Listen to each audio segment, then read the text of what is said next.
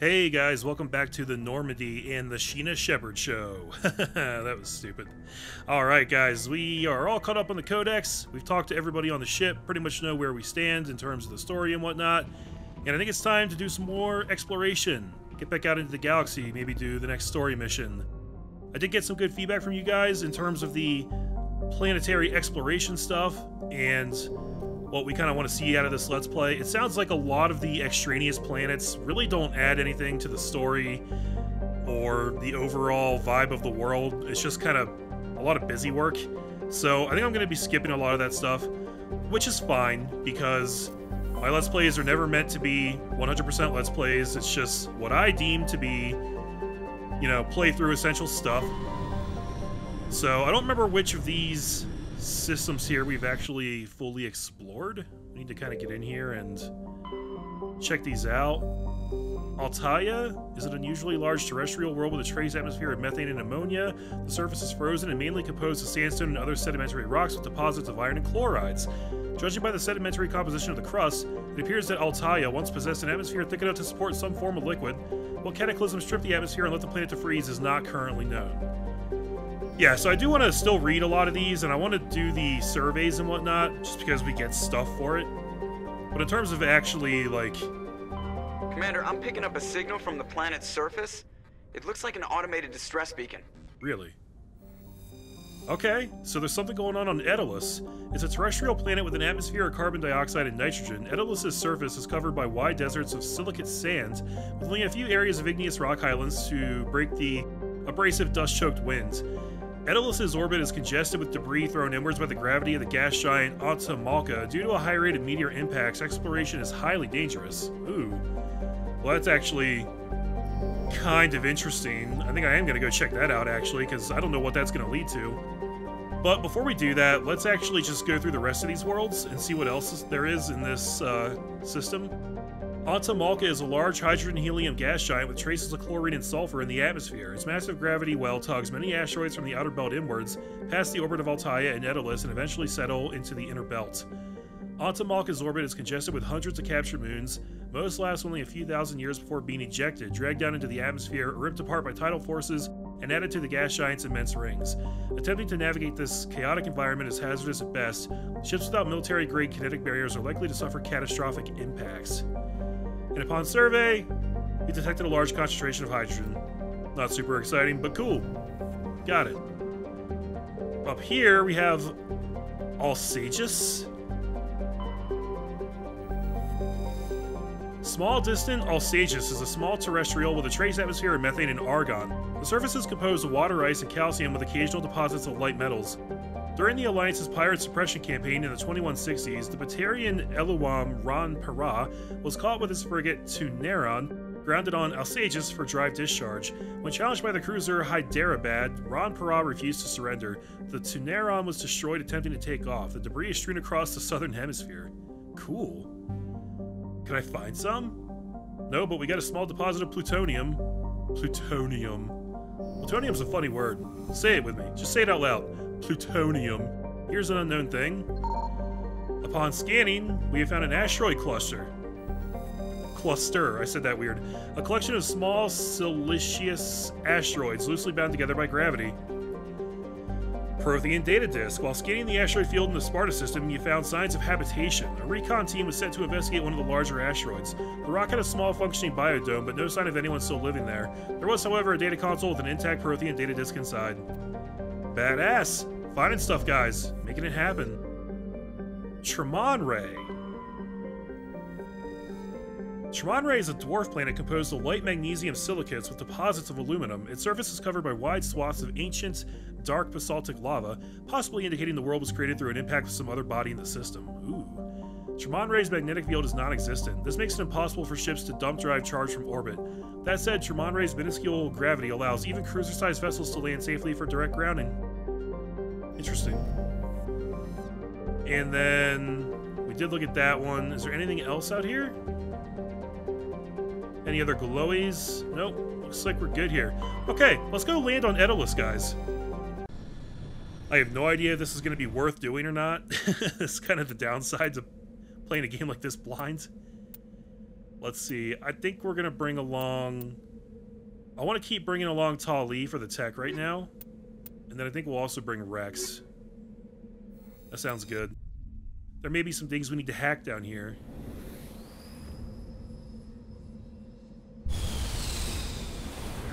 Whoa.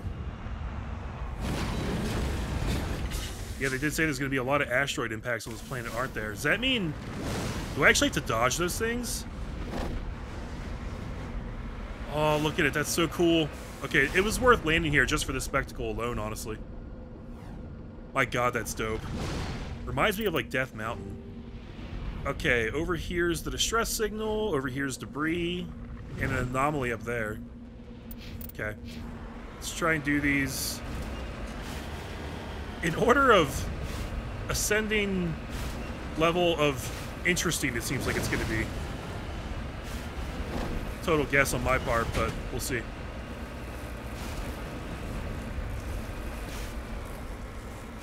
Come on, Mako. Get up there. You know, instead of having the jump jets on this thing, what we really need is a nitrous boost. Oh, I see something off in the distance over there. I don't think that was on the map. Hold on a second. Might just be a, uh...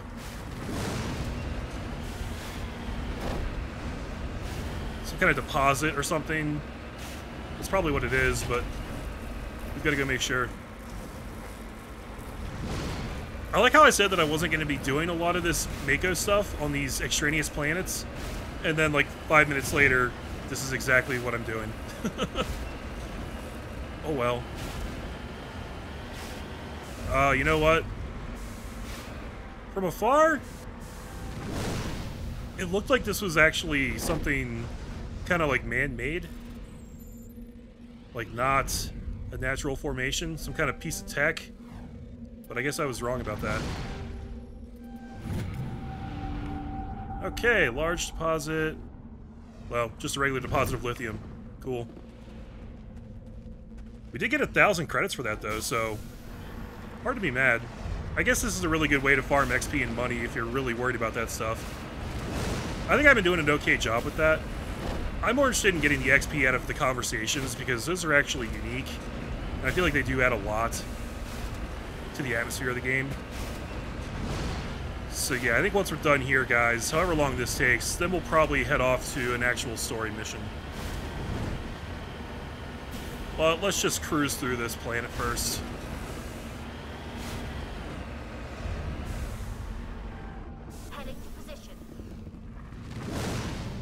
Salvage this. Electronic skill is too low. See, that really bothers me. Even having the forethought to bring Tali, who's like the electronics master, right? I still can't do that. And there's no way around it. I wish I could just, like, spend the Medigel.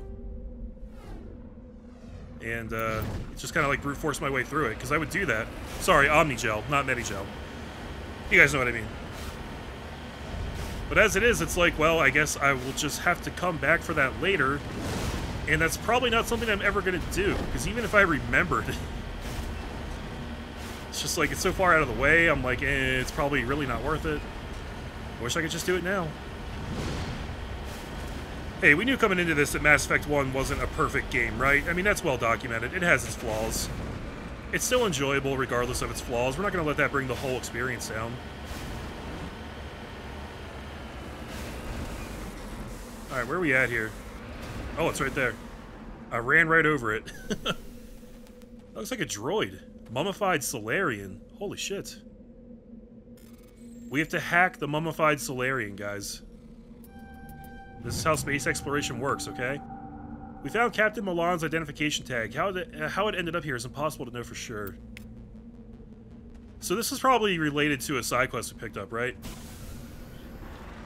I honestly don't remember the specific details right now, but I'm pretty sure that's what that was about. Some point in the future, I will go in and check the journal on that. Wait, let me double check this. Yeah, that is where I want to go. Okay. So, let's put the Mako to the test here. Can we get up this really steep incline? Yeah, boy. But yeah, man, we need a turbo boost on this thing. That'd be dope. I want to ramp off these rocky hills. Pull some sick-ass jumps, some sweet tricks. That's probably the most fun I've ever had in a Halo game, actually. I love the Halo games, but some of the most fun we've ever had was in Halo 1, just playing this little game we invented called Warthog Wars. Because in Halo 1, the Warthog didn't take any damage. You could crash it into things all day long. You could not blow that thing up. It was indestructible. So getting two people in a Warthog, holy shit. Okay, there's something big down here. uh, getting two people in a Warthog and just running into each other and just trying to like crash each other out and flip each other over was so much fun. We used to do that for hours. Anyway, what's the deal? That's an Alliance Marine? Is he friendly? That thing's not! Motherfuck, a Thresher Maw? Okay. Oh, are you gonna let me save here? You're not. I better not die here. I'm gonna keep my damn distance from this thing. Oh! He closed the gap really quickly!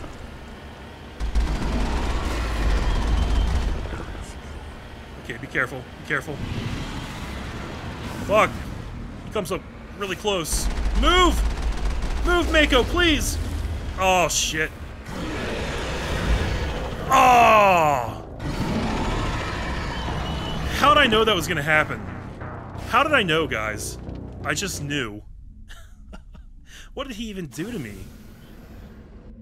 Oh, I have to redo everything I did, don't I? This, uh, this, this stuff really sucks. This aspect of this game really, really sucks. What's back here? Did I see this before?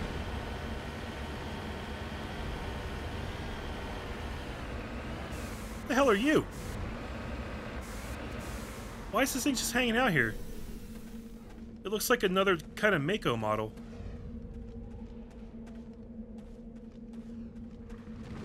Hello?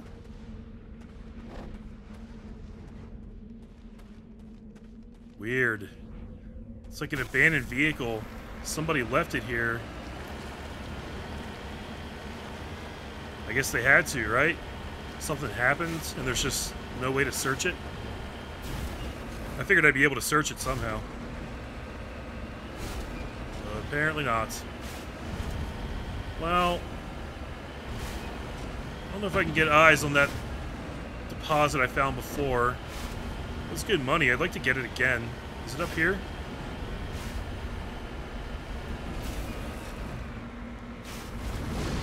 It's right up over this hill.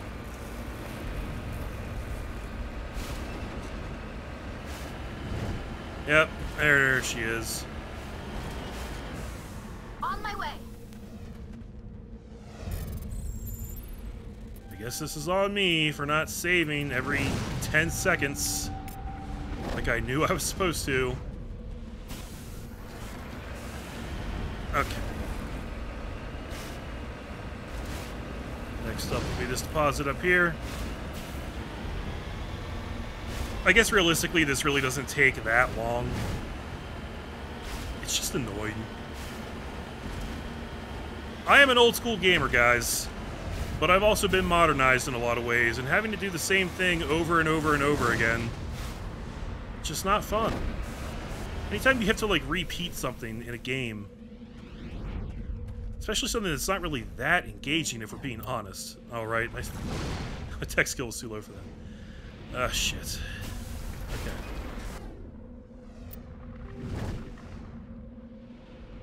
Go scan the Salarian. We're going to need that for the side quests. I feel like I got a little speed boost there. Just from tapping on the thrusters. I don't know if that's my imagination or if that actually works.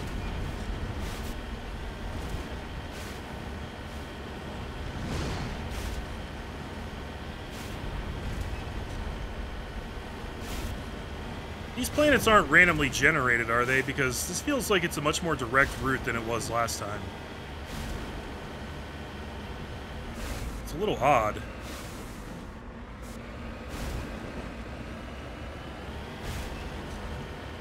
Uh, I guess I just took a wider angle getting here. It seems like he is in pretty much the same spot. Oh, I don't know. Kind of hard to tell. Just this is a difficult one. Oh, I'm gonna fail this, aren't I? Yep. Ah, do I get to try again? Thank you. That at least is very, very generous of them. Okay.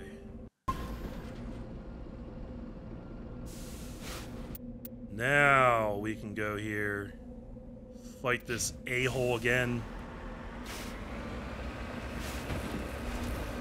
I guess that death was kind of my fault because I was trying to get away from him, but I don't know, I didn't control the Mako right. It felt like it just kind of stalled out right there, and then I just exploded. I'm not even sure what kind of attack he did to me. But I knew that if I got too close to him, it was going to end poorly. I just knew that intuitively. wonder if there's a way to tell where he's going to pop up.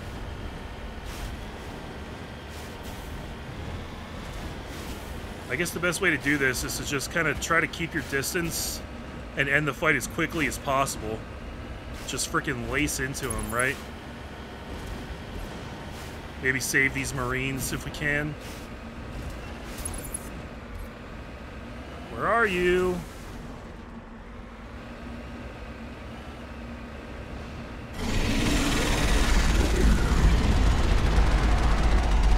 Okay, stay on the move. Not too close.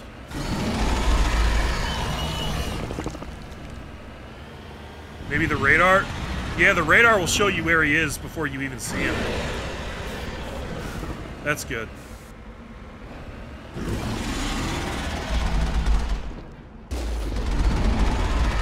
That's a nice whiff, huh? Cool.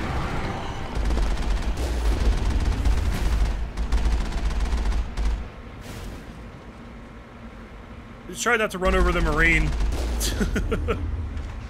oh, shit. Okay, we can't stay still, though.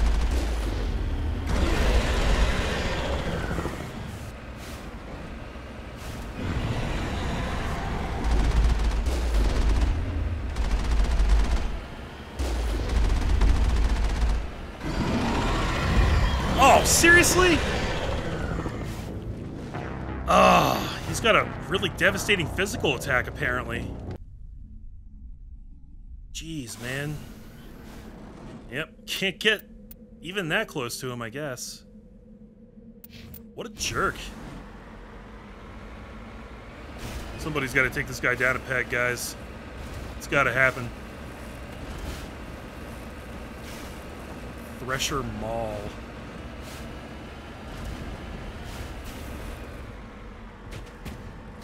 That was effective.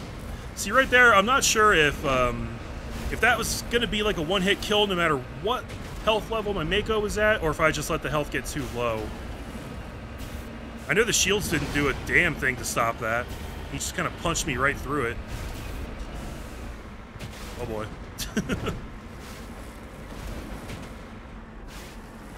Mako loves to get spun around and face you backwards when you're trying to drive forward.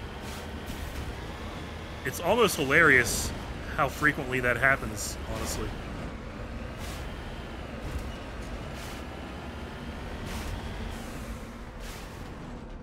This better be a damn good reward, man. I'm telling y'all. I want some mad XP for this. I want to level up from this. Because this guy's strong. Like, really strong.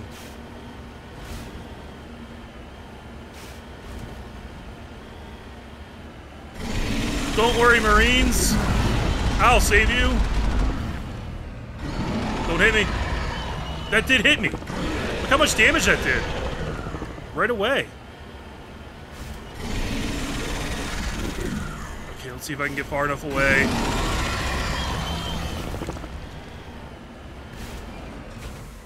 And then heal up. All targets down. All targets down? That's not true. There's no way that guy's dead. Man, the repair takes a long time, too. Okay. Come on out, man. We have to settle this.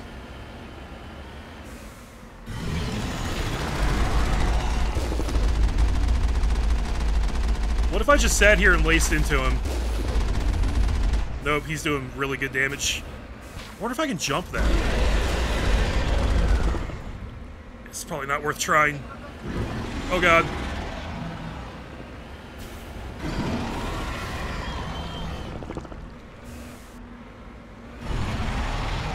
Motherfucker always comes up behind me, too. It's really annoying, actually. Ugh! Okay, that time he didn't.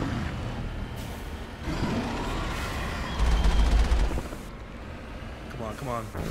Oh, really? Really? How in the world are you supposed to avoid that? Everything else that's happened up till now, I've been like, okay, you know what, I guess that's partly my fault. Like, I can see what I did wrong there.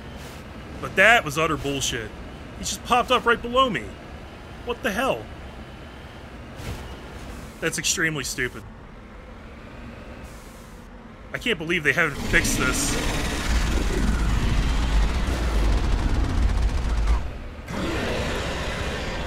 Like, some of their design philosophies with this Mako stuff. Oh, cool. I'm alive, though. Somehow.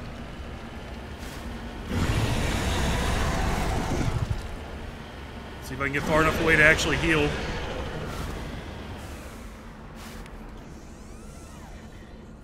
Dude, and your shields are worthless in this fight. He just bypasses your shields completely.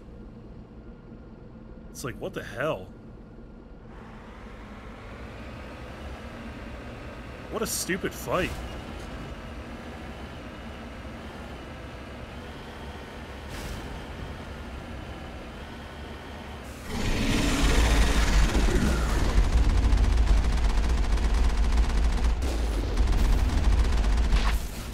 That worked! oh! Fuck you. Oh! Fuck you. There it is. Okay, I figured out the strategy for those guys.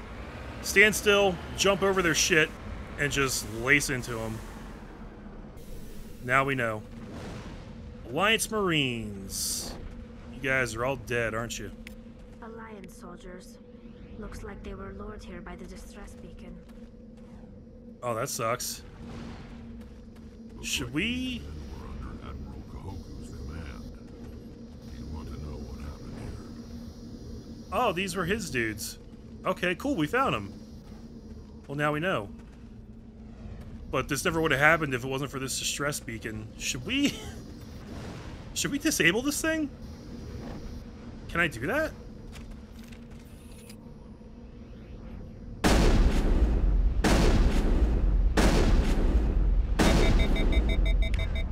I don't think it's gonna let me do that.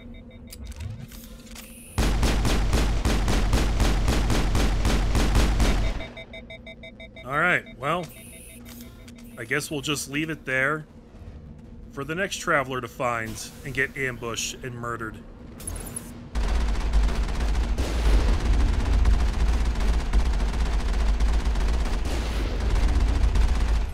It's the strongest distress beacon in the entire galaxy.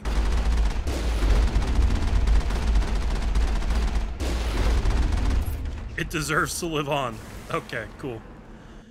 Well, that'll just about do it for this, I believe. I'm not gonna lie to you guys, I have forgotten how to get back to the Normandy. Here we go. We also got a codex entry for that. Okay, so next time we find ourselves back at the Citadel, we can turn that in. And let's see what we picked up on the codex.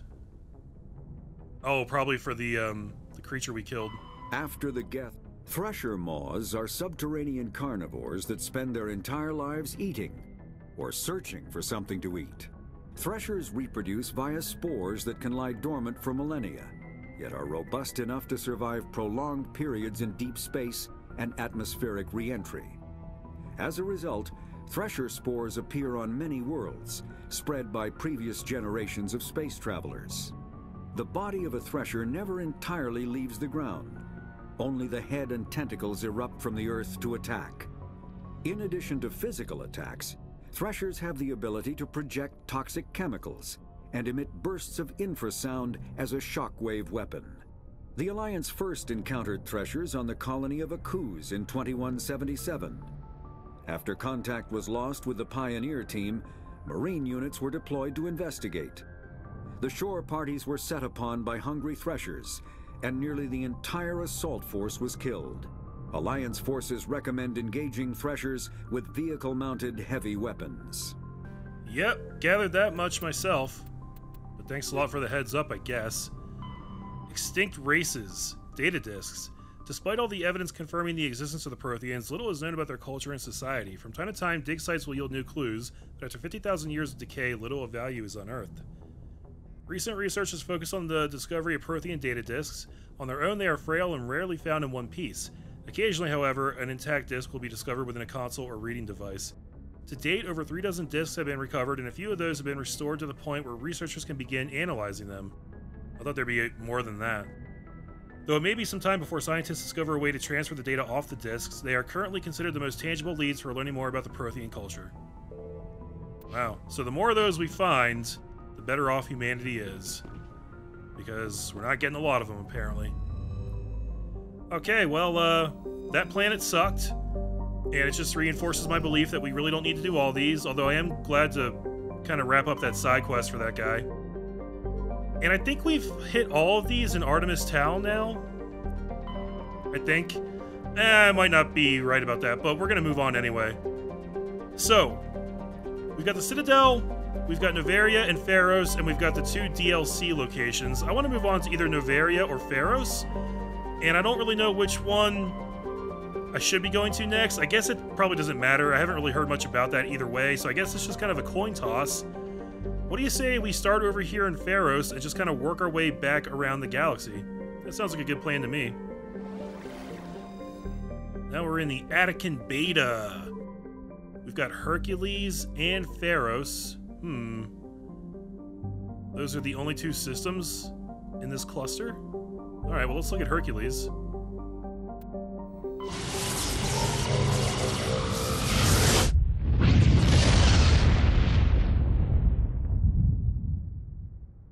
Message coming in. Patching it through. Normandy, this is Alliance Command. We're detecting your presence in the Attican Beta cluster. One of our surveillance drones was gathering intel on Geth activities in the region when it was spotted and shot down. You need to go groundside and recover the drone's data module before the Geth find it. Do I? Do I really? That doesn't sound like something I need to do. And why is this guy giving me freaking orders? I'm a Spectre. That's not the way it works anymore, bud. Better get used to that. Alright, Seiyidid. This is the proximity of the energetic star Hercules causes constant blue and violet aurorae in Seiyidid's nitrogen argon atmosphere.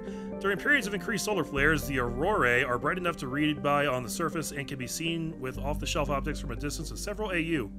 So, an AU is an astronomical unit, and it is the distance between the Earth and the Sun. So, when it says like 2 AU, it's twice the distance of the Earth to the Sun, which is about 93 million miles on average.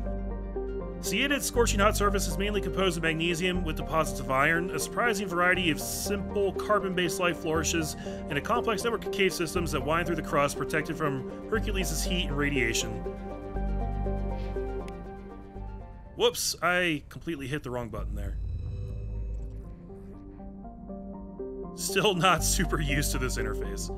Uh, let's see, we were on Seiyidid, and we need to survey this. While scanning Seiyidid, you discovered a large debris field in geosynchronous orbit.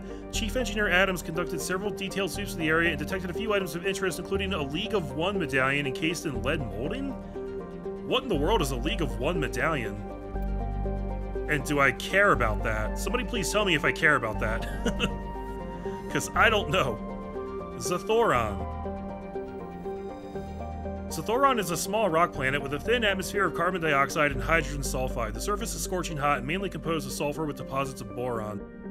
Sounds kind of similar to Mercury, which, by the way, guys, I need to correct myself on something I said a number of episodes ago. So I had mentioned that Mercury is kind of an interesting planet because it gets very hot and very cold, and I thought that that was because it has um, a synchronous rotation around, um, you know, its orbit with the sun, which meant that the same side was always facing the sun, kind of the way the same side of the moon always faces the Earth. Um, that's not actually true. Apparently, that was believed to be true up until like the 60s, and then it was actually disproved. So I guess I read a, an outdated fact somewhere along the way. But I was correct about Mercury being very hot and very cold because it has no atmosphere, so it doesn't trap heat. So during the day on Mercury, when it's facing the sun, it gets insanely hot because it's really close to the sun. But when that side of the planet rotates away from the sun, all of that heat is released because it has no atmosphere to trap it and it gets insanely cold, even though it's really close to the sun. That is true. I looked it up and confirmed it. Anyways, Zataurus. Zataurus is a hydrogen, he hydrogen helium gas giant with high level decks of sulfur clouds. A layer of hydrocarbons has formed deeper into the atmosphere. Vast electrical storm fronts can be seen flickering across the dark side. While scanning this planet, you detected a large deposit of gold on a nearby moon. How about that? Gold, an entire planet made out of gold, guys. That's probably out there, by the way. That probably exists. Did you guys know that? I think it's, um, I think it's only like 50 light years away from Earth. I could be wrong about that fact, but we have found a star that's literally just a giant diamond. It has the composition of a giant diamond. And astronomers actually nicknamed it Lucy after the Beatles song Lucy in the Sky with Diamonds. One of my favorite space facts. Crazy shit. And then here's Eletania. Eletania appears to be a world eminently suited for colonization. Sadly, appearances are deceiving. It is covered by a verdant carpet of mosses, algae, and lichen and possesses a thick, oxygenated atmosphere, but the animal kingdom is a web of microscopic symbiotic creatures. These are impossible to filter from the air and necessary for the native life to thrive. Unfortunately, they also cause anaphylactic shock when inhaled by non native life. In short, settlement requires either fully sealed environment suits or replacement of the entire world's ecosystem. Some have proposed limited colonization at altitudes above the symbiote's range, or in areas where favorable winds keep the air clear. I don't know, that sounds pretty damn dangerous. Okay, we can actually land on this one. Are we gonna do this? Fuck, I guess so. it sounds like it might be important. Okay, Tali, you're gonna stay where you are until you get your shit together. You know, maybe we should actually bring Liara. We haven't really palled around with her yet. Yeah. Okay, Garrus, you're gonna chill here. We're gonna bring Liara.